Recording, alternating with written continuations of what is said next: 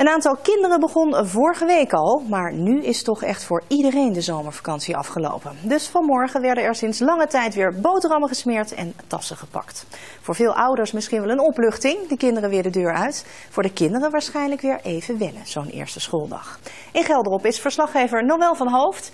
Ja, Noël, eh, hadden ze er een beetje zin in vanochtend?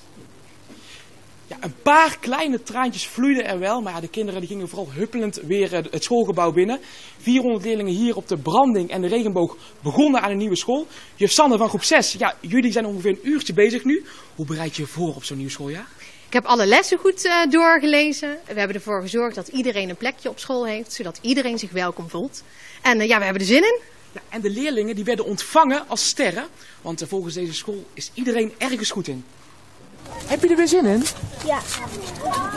Ik had er niet zo zin in, maar ik, heb, maar ik ben nu wel blij om mijn nieuwe vrienden weer te zien. Ja? Ja. En, en, en, en dan ga je wel mama missen, denk ik. Ja. Ja? Maar is niet erg. Niet erg, ja. ja? Heb je er weer zin in? Ja. ja waarom? Omdat ik school haat. Ja, heb je er daarom zin in? Ja. ja. Welke groep ga je? Vijf. Vijf?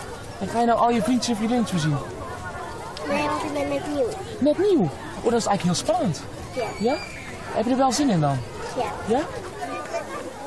Allemaal, doe maar mee en maak hem af.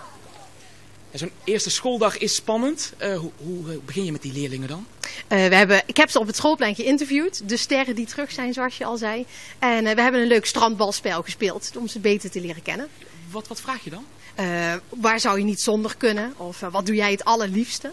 Ja, en eigenlijk wel de belangrijkste vraag. Hebben de kinderen er weer zin in? Dat is sowieso belangrijk. Hebben jullie er weer zin in? Ja! Noël van Hoofd was dat vanuit Gelderop.